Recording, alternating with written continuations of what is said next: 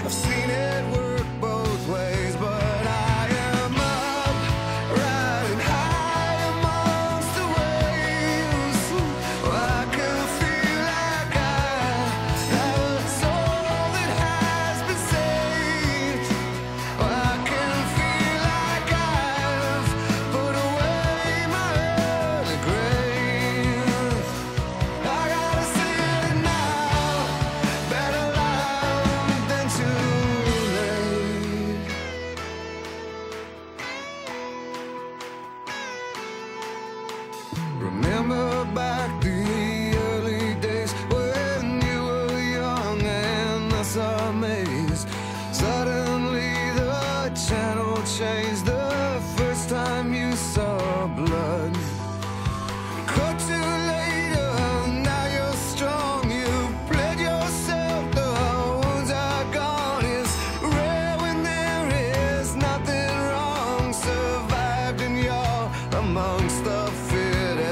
Love